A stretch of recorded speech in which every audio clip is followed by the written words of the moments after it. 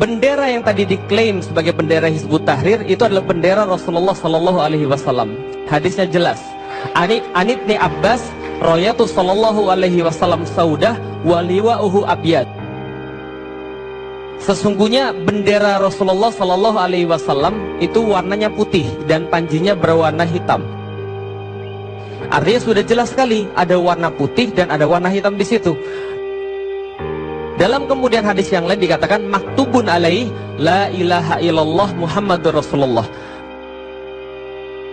Bahwa sesungguhnya tertulis di dalamnya la ilaha illallah Muhammadur Rasulullah. Kalimat yang antum-antum itu semua hidup dengan itu. Kalimat yang antum-antum semua ingin mati dengan itu. Dan kalimat yang antum-antum semua pengen hidup lagi dengan itu. Betul atau tidak?